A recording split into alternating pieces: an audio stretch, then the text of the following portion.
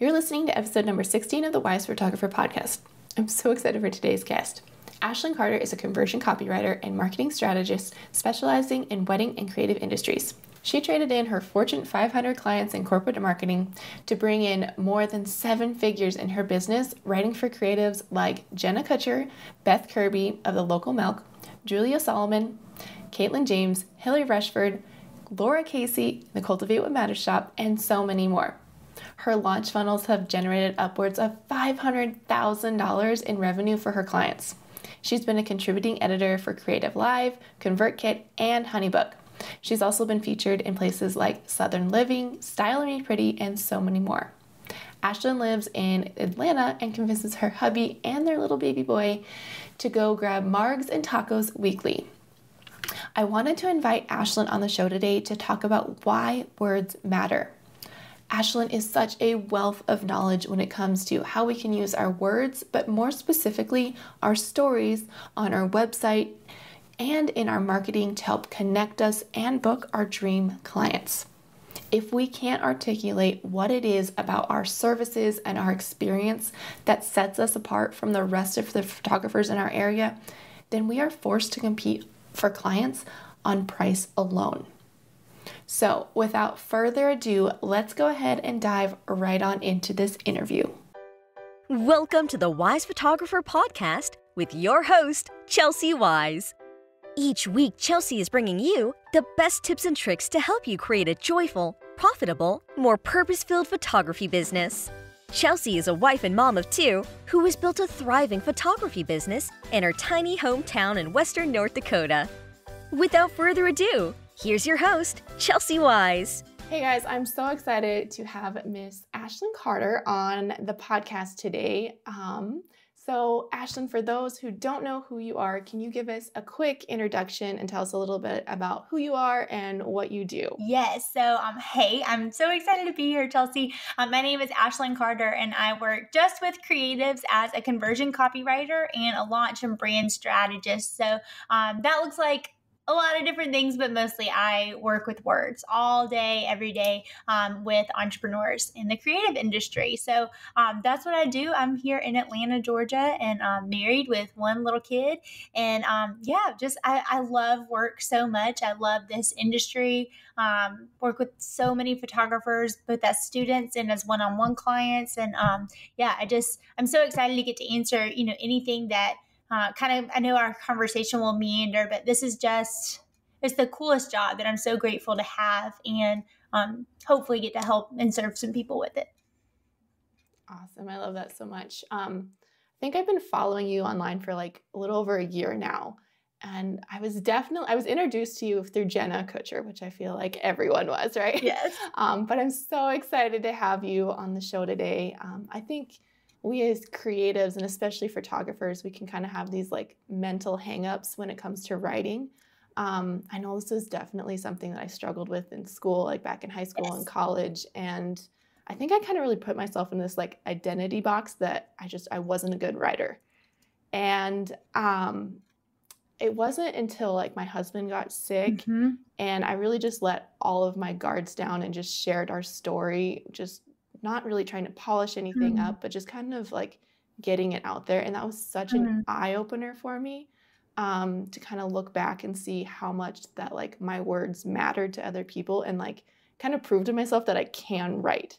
Um, so, full disclosure, um, I am a copywriting for creative students, and I'm about halfway through the course. Um, I just get so excited. And like, if you want to if you want to try and finish a course, invite someone on your podcast. that means the world. Well, and then I'll tell you too, we're redoing a lot of the templates. So I'm actually glad you haven't been using the. Te- have you been using the templates yet? Uh, not no, not yet. Good, good. No, you're just right on okay. track then. Perfect. Um, but I've learned so much, and like going through that course, like I feel like it was. It's just been amazing. Like I'm not even finished all the way, and I'm like so excited. Um, so getting to have you on this episode, like so gosh darn excited to have you on here. Um, but I think um, one of the things that I learned like that really stuck stuck out to me and was kind of like the most reassuring is that it's hard to kind of find your own brand voice and your own brand story. Like we're so close to it that like we can't see the outside of the label from the inside of the bottle, if that makes sense at all. Never heard that I love that. So true. I I can't remember where I heard that one, but it was a good one. That's good, Chelsy. um, but I wanted to kind of ask you if you can kind of explain the difference between what a brand voice is and what a brand story is. Because I've seen both of these things kind of floating around, and until I took your course, I didn't understand the difference between them. And I was just kind of wondering if you kind of break down what those are. Absolutely, Chelsy, so good. And I was like, like imagining making notes when you're talking because I feel like there's so many nuances to what you said that are so important. I think you're you're not alone in that figuring out the difference in those two. Like it yeah, it's like kind of the same when you like start your business and you're like, wait, I need to be doing like cost of goods. I need to figure out that. You know, there's there's these things that you feel kind of like I should probably be able to figure this out, but you've never done it before. You can't fault yourself for that. And I think a lot of people label themselves as like being good at this or bad at this. So I hear that all the time. I love that you just openly admitted that. And I think you touched on the value and the importance of sharing your story and like getting it out um, because like it doesn't have to be perfect but it probably needs to be shared and like the way that you have been so open about what you and your family went through is um, so admirable so um, the tools being like voice and story are just like tools that have helped you get that out right? So the way that i see um, the difference in the two they're both vehicles to communicate the overarching brand message. Uh, i think a lot of times especially as creatives when we think branding we think like uh, our just our brains go to the visuals. And i don't know if you've seen me do this. Chelsy sometimes in the facebook group we'll have you know a student or something say like you know i do branding for entrepreneurs or whatever. And i'm like eh, you do like maybe the visual branding. Like branding is a big word to say that you do for some. That's like saying like I do finances for creatives. Well, do you do the bookkeeping? Do you do like consulting? Would you do you know like what part of it do you do? Um, and it's the same way with branding. So if we look at if your message is like the what you're trying to communicate, story and voice just become how. Like those are just tools to get it out. Like um in figuring out like actually pinning and putting that down i think is the best um, again comes back to like the audience that that the realm we're both in where craftsmanship like is so important to creatives. I think that that's why there's such value in like taking the time to write stuff out and workshop it and figure it out on paper because then it's so much easier to communicate. Um, so as far as like figuring out voice that's just the tone and the syntax and like the the sound, the rhythm, um, the word choice, and then story. And we can park on story for a while, but I do want to demystify story a little bit because I think a lot of people hear the story and they're like, well, and and the hard thing is, Chelsy, like you and I both have, like especially you have this like you have a crazy life story. You know, like you have something. And I think that some people look at that and they're like, well, I don't have, it's kind of like when you hear people's like crazy testimony and you're like, well, Psalty the Singing Praise Book came to my church when I was seven. Like I don't, I had nothing, you know, like that's not cool. so I think sometimes people hear a brand story that's so dramatic and they're like, well, I don't, I don't have a story. Story is just a vehicle and it can be something as simple as an anecdote or an analogy or you know a moment in time that happened in your kitchen where you know your kid said something and that like that is a type of story. And so there's um, we can get into too there's types of brand stories that i do recommend that everybody has in their back pocket. We talk about that but i do want to say like even if it's just weaving story into your email newsletter each month or your instagram caption um, don't don't worry it does not have to be this like life changing hero's journey every time you try to figure out how to use story. It can just be, um, it's just as simple as trying to help people put them in a moment and let them see something um, that you've been going through or went through, even if it lasted for a couple of seconds. Mm-hmm. I think I've had a hard time because I do have like this huge hero story. And like I'm trying to kind of excavate a little bit more to find some that are not quite as big because I feel like I have a hang up of feeling like everything has to be so big. Yes. Um, and I really appreciate that you said that like it can be those little moments, those like small things that just are like little light bulb moments that really did make a difference and not something that like was life changing. yes. And Chelsy, I've felt like that too before. Sometimes like yeah, if you do have a crazy story that led you to what you do as a photographer now or whatever, sometimes it is kind of hard to be like, well, that's I'm like a one trick pony. Like that's my that's my shtick. I don't have anything else, and you totally do. Um, so I think there's both sides of it um, are kind of difficult at times to see. Awesome. So do you think that like brand story and brand voice are like developed at the same time or is it something that like you kind of work on one and the other one kind of follows along with it? Or how do you kind of suggest that people like approach the two of those? Because they, they're different but they're combined right? I love it. Well yeah and i think that well, like instagram like people want to know like yeah make instagram better and it's like well there's there's a problem underneath that. Sometimes that's how i feel with the voice. I'm like yes it is important but there's something under that that's actually more important that we need to figure out and that is like what your audience is saying and you know like how we merge those two things together. But i do think voice is one it's probably because too when you start out your creative entrepreneurial journey you're diying everything.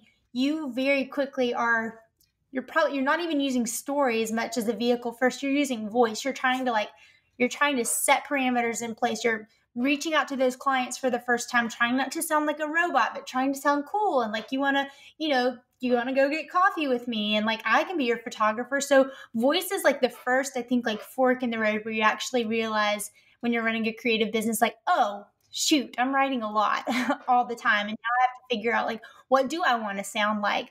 Um, so I think that's why voice comes into play first, but very quickly on the other side of that.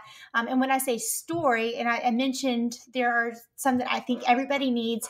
I think you need your origin story, like the the thing that made you realize that this is something that you're passionate about.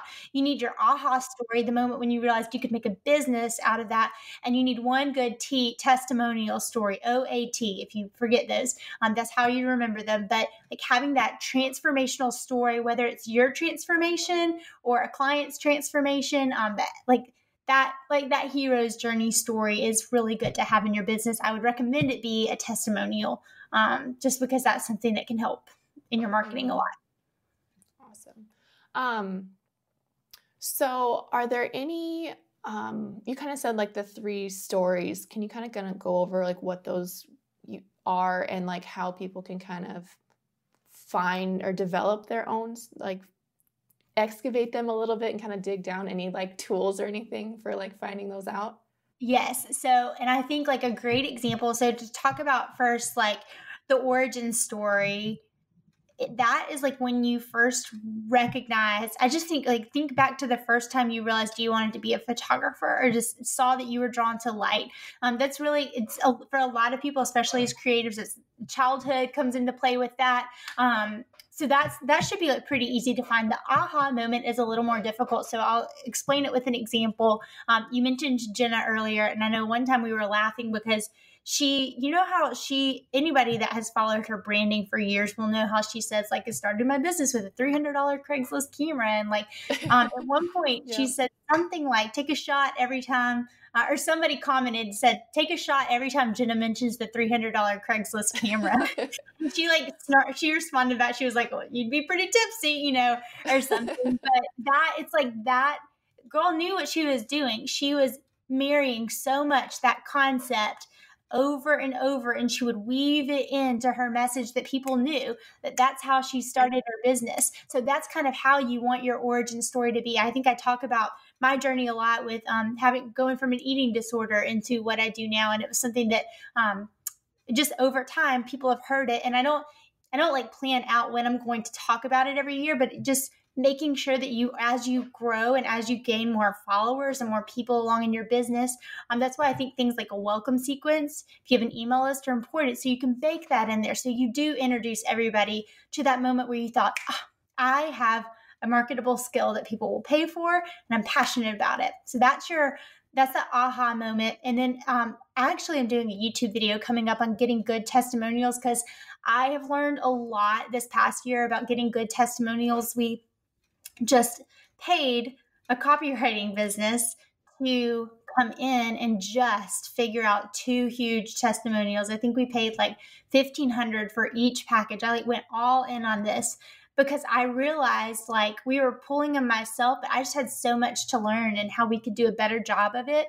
Um, and I think like that's been a really valuable exercise for me. But always, I there's a there's a YouTuber out there named Sunny Lenarduzzi, and I remember there's like one video where she talks about her weekly ta- her daily tasks and she has them all down and one of her daily tasks like she's a big team but on her list is getting testimonials. That's how important like there's not somebody on our team that's going she's constantly talking to her students talking to her clients understanding what could we've done better? What did we what did you what are your successes? Like how she is that dialed in to getting feedback and hearing how what she does changed people's lives. That spoke volumes to me when i heard that like this girl with a pretty big team you know has this on her list every day. So those are those three stories that I recommend. Um, so what do you think is the number one mistake that you see creatives making when it comes to using words to kind of communicate what they do and like getting clients to book? Yeah. I feel oh. like it's something that's so overlooked, especially in the photography industry. And like I didn't even realize like how powerful it was until just recently. I love that. I think one thing that I notice a lot from from being on the inside of businesses, like, and I, I've got a ton of resources on website copy. Okay, so let's go the next step in the process, the next step in the funnel, so to speak. That inquiry process, I've just looked at so many inquiry response emails that I'm like, this is so confusing. Like, there's, you have got the same way in a sales email, you give them, like, you know, in email marketing, you typically have one call to action, one main call to action, and that email is like, the email is packed in a way so you remind the person of their problem, why they're like agitating it a little bit. You're communicating why you have the solution for it, and you're calling them to action. Like there's a process to it. And I think sometimes I would look at inquiry responses and it was like confetti exploded on paper and I you can't figure out like as a as somebody who have gotten the email would have been like a of all what am i supposed to do next? Like that's one one aspect that i've seen is they're so packed with like do this and this and this or if you want to do this and if you click on this link you can see where i've shot this menu but over here you can also see you know like all that. Or on the other side i've seen where you're not it's passive you're not asking like ask for it. Move them to the next step in that process. Like do not ask them you know, if you're interested or want some more information, just, you know, let me know. Like, no, move, you move them to that next step in the funnel. Like, how can we, you just keep move them down that pipeline. And so that's one thing that I see a lot um, photographers could do a better job with. Um, I think a lot of creatives could do a better job. And I, I think I, I noticed that because I did have calligraphy as the side to my business, you know, for so long and, and copywriting, but I was learning so much about email marketing copy that I had known from corporate, but I was looking now into the creative industry and I was like, wait a minute, like this is not if email is email and email and people people buy this, you know, like people people don't change. People are looking for the same things and are going to have the same responses to, you know, different triggers that come up. So that's one thing that I think I've noticed a lot is there's definitely ways to make sure that along the journey of getting your emails um, are working with you or booking with you that make sure that you're greasing that slide just as much as you're greasing them actually looking at your website or finding you on Instagram to your portfolio to reaching out. Keep making that slide really greasy all the way until, you know, wedding day and then keep going. Nice. I love that. So I think that's something like I've definitely struggled with is like my first like initial booking or like inquiry email like it's like i have like the link to like my welcome pdf kind of thing that goes through like pricing and has like the portfolio. But then i'm wondering like if my my, la- my last little bit has here if you want to read our family story here and a little bit here i'm like is that getting too busy? Do i need to narrow that down? But i i feel like uh, that family story for us my about me page is like so critical to who I am as a brand that it like maybe I need to tone it down a little bit, but I see I think it's still important for me to have that there. I think it needs to be there, you know, but maybe you want to like you know may and it depends. I think it's it's different for every email. You two call to action, well, three, I guess, like read the email, read the story, read the PDF, read the story, click or like so let's schedule a call or whatever. Mm-hmm. Um, that may not be too many. I think especially if at the end you're saying like as a reminder, you know, like bullet them out, you know, like make it yep. really easy for people to understand. Um, confused people don't take like how many times do you open an email and you're like confused so you just close the email you know mm-hmm. like that a lot of the reason we ghost on emails is because it just wasn't clear what our next step was um, but one i ran into the same thing you did and so it's like how could i we ended up fleshing out that welcome pdf magazine. It's it's 38 pages now. There are definitely some like full bleed pages but i do want it to give a sense of like my story mm-hmm. my team. I'm because i'm anchoring the price all along the way. Like i know that our one-on-one services are expensive. I know that some of my programs are expensive and so i want to make sure that they really understand. They're seeing like testimonials. They're seeing all that stuff before they then get to the price because like I can't just shoot over my prices and say like, you know, decide if you want. I've got to help them anchor and understand why that price is what it is. And I think it's the same.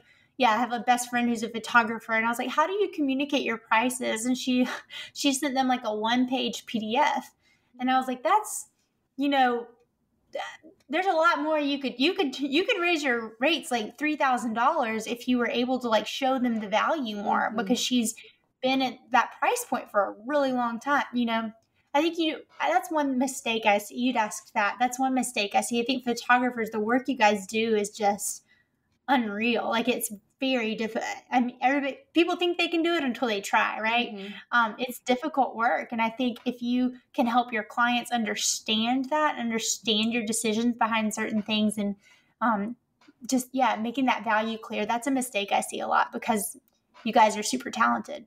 Well, thank you. we'll get right back into the episode, but I wanted to pop in here right quick and let you know about something that I am so excited about. I've had so many of you reaching out to me asking about coaching. It has been so fun meeting you guys and diving into what's working and what's not working inside your businesses. This podcast was created to help you take your business to the next level, but sometimes we need a little bit more help. Messages from photographers across the country have been pouring into my inbox. I get it. You are sick and tired of being glued to your computer, editing a backlog of sessions late at night. You are stressed out and overwhelmed, and fear is holding you back from raising your prices and charging what you're worth. You are so sick of working with clients who just don't value your time and talent. I hear you and I understand, and I am here to tell you that there is another way. There is a way to find more joy and less overwhelm in your business, and you can stay inspired and excited about work. I am so excited to officially announce that I am taking on one on one coaching clients. I'm offering three coaching packages right now, which include a one hour session, a full day session, and a four month long mentorship. These coaching calls are great no matter what stage you're at or what you need help with. During your coaching call, we can go over anything and everything from marketing and branding, editing, workflow, and systems to pricing and mindset. Spots are extremely limited and are already starting to fill up pretty fast. I don't want you to miss out. You can have a joyful, profitable, and purpose filled photography business and I'm here to help you get to the next level. If you want to learn more about what one on one coaching looks like with me, you can head over to coachingwithchelsea.com to learn more about the packages and see if one on one coaching is right for you. All right, guys, let's dig back into this episode. I think one thing that I work on a lot with like my one on one coaching clients is really kind of understanding um, getting like this like getting away from like the scarcity mindset um because i think we can have like everyone and their cousin has a camera.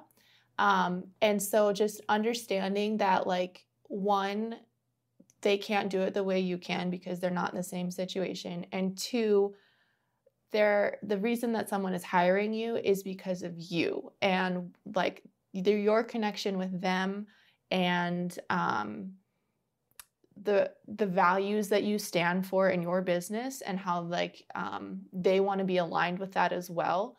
And sometimes it's you can have a pretty picture but unless you can like articulate what that value is i think um, a lot of photographers are just going to get stuck competing on price if they cannot like articulate what it is that makes them stand apart and like I seriously just want to send all of my one-on-one coaching clients through copywriting for creatives.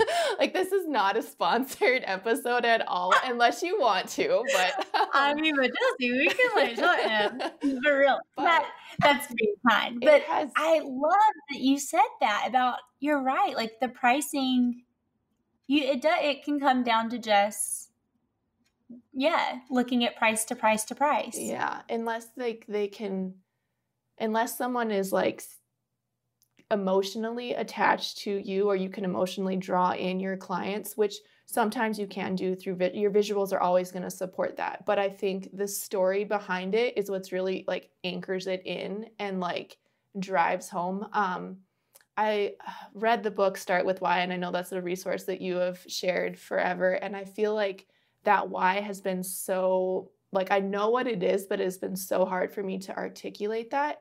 And for me, it's um, kind of watching a trans or helping to like um, create a transformation so that we can celebrate the um, the transformation. So like for me with weddings, it has been like that's why for me for photography, it's been weddings that I love because I'm helping them transform from a bride to a wife, and we're celebrating that with the wedding. And then um, for this podcast, it has been kind of tra- helping um, busy moms go from kind of feeling overwhelmed and um, not able to move forward to having the tools to ma- and making those wise decisions so that they can kind of transform into the business and life, like running the business and having the life that they want. So, like, that transformation is kind of where my why is. And it's been I, have had a hard time articulating how to do that, and I'm loving that I'm being able to dig into that with with this course and just bring it, bring what's in my head out.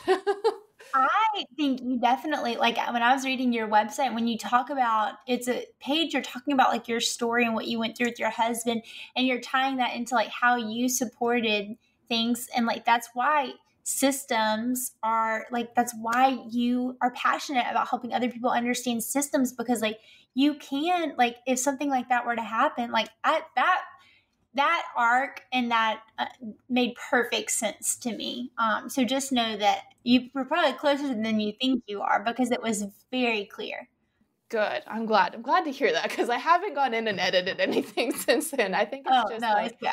working on trying to weave it all into like all my copy, but Amen. yeah. Um, Amen.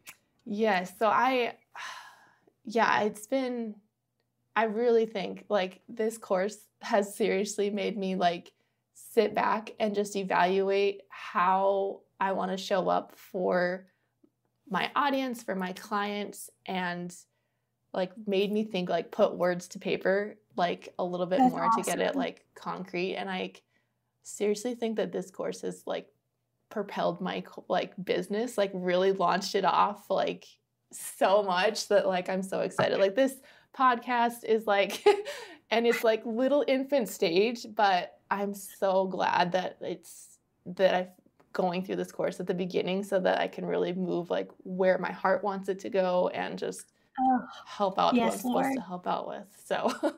Well that I that's so kind. I think I think that's the power though that messaging that's that's maybe why I love messaging so much because I do feel like it is and you've probably heard me compare it to fixer upper before but it's like you have to rip things down to the studs. You have to demo day it and pull everything down before you start and i do a lot of us as creatives we we love the visuals we love you know we do love that but if it's like my mother-in-law always says like putting lipstick on a pig you know like it's not fixing it if we don't get down in the grit of it and figure out yeah like true truly define what our message is and get clear crystal clear on that uncomfortably clear. Like it, it's not sometimes this stuff is like setting goals for me. I'm like this is actually not fun until like the last 10% of it. And then like then i'm having a good time.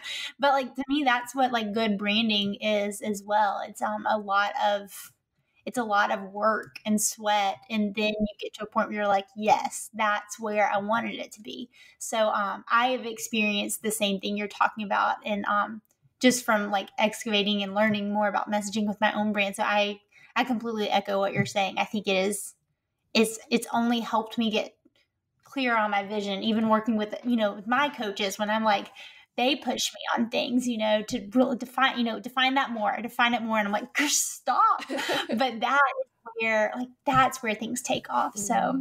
I, I hear you. I appreciate this course so much, like, for real. Um, so you kind of talked a little bit about testimonials, and you said you had a um, YouTube video coming out, and we'll definitely link that down in the show notes once it goes live. Um, but is there any tips that you could give, like kind of especially towards photographers, on how like what goes into a good testimonial? And because I feel like that is something that's really huge, especially for photographers, and like especially brides, like wanting to like see what other people did or like what how what how other people felt and that kind of thing. Is there any tips that you can give on like how to collect them or what should be in them?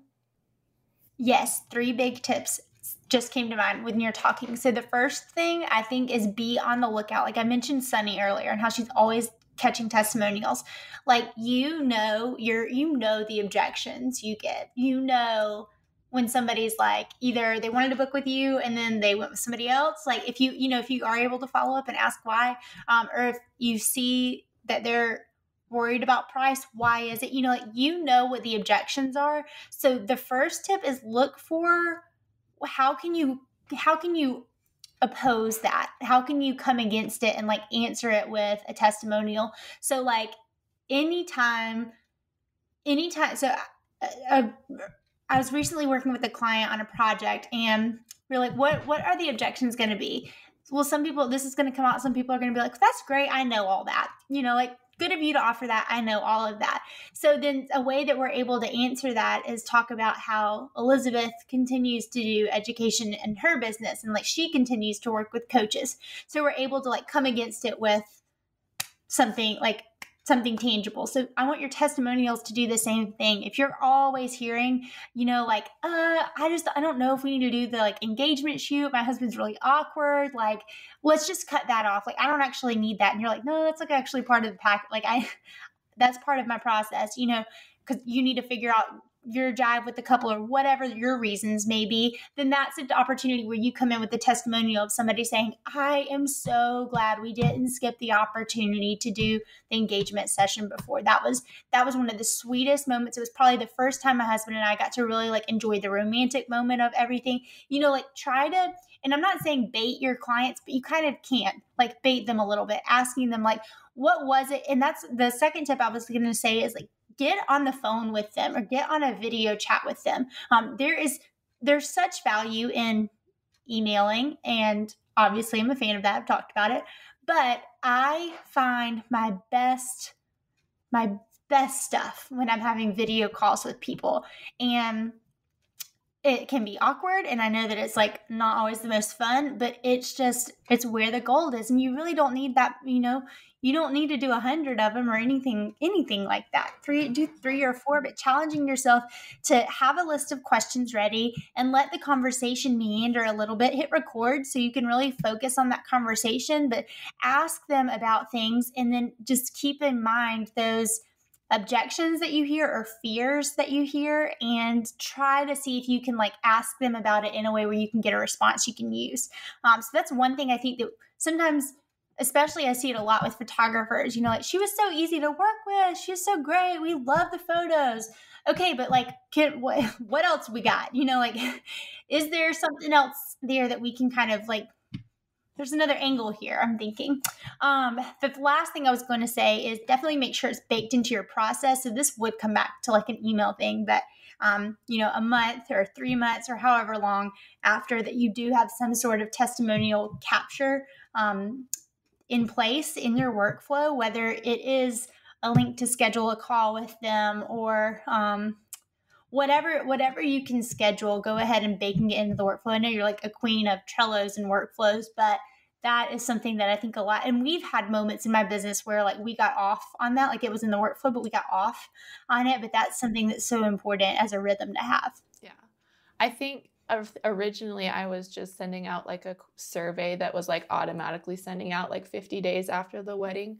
Um, but i think now i'm going to go into HoneyBook and put it in as um, like a calendly like video type thing yes. um, going forward which i think i'm really excited for. I've actually got two um, calendar or zoom calls with um, past brides scheduled for like next week and i'm excited about it a little nervous I'm about it but like yeah um, so I've got all my questions kind of wrote out and um, excited to kind of. You'll be great. I get. I have gotten nervous before, even like doing interviews for customer, like for clients. Mm-hmm. I'm interviewing there. It's yeah, it's just awkward sometimes. So. Yeah. You did the right thing. Like having your questions prepped before is like the best thing you can do and shutting up is the other best thing you can do. Uh, I love that.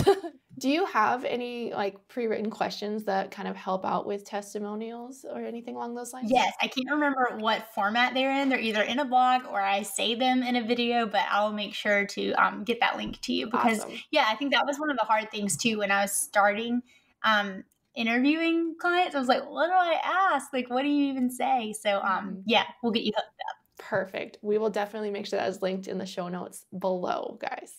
All right, Ashlyn, I have one last question for you, and this is kind of like my favorite question of all times. And that is if you could describe yourself as a plant, what plant would it be?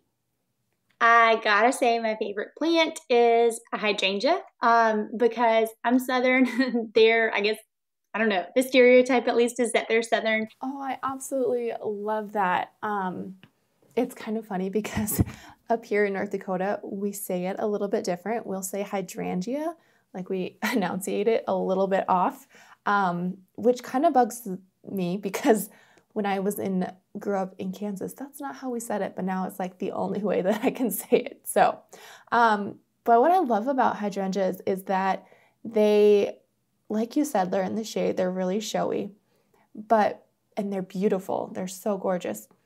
But if you cut them, um, and dry them out, they last forever. And I think that that has a little bit of correlation um, with what you do as a copywriter, um, that your words really can last a long time and really tell the story. So I love that you said that because um, I think it's very fitting.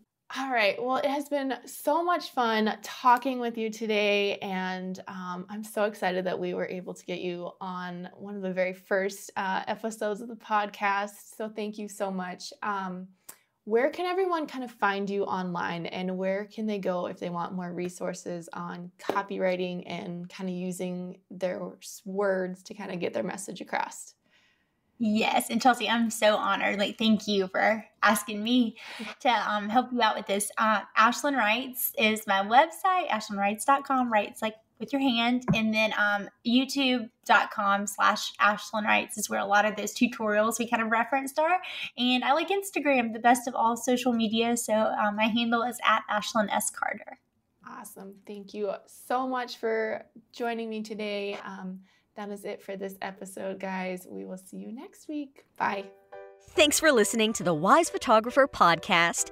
Dive into the show's notes for this episode and all past episodes at www.thewisephotographer.com. If you love the show, share it with a friend. Thanks for tuning in, you Wise Photographer, you.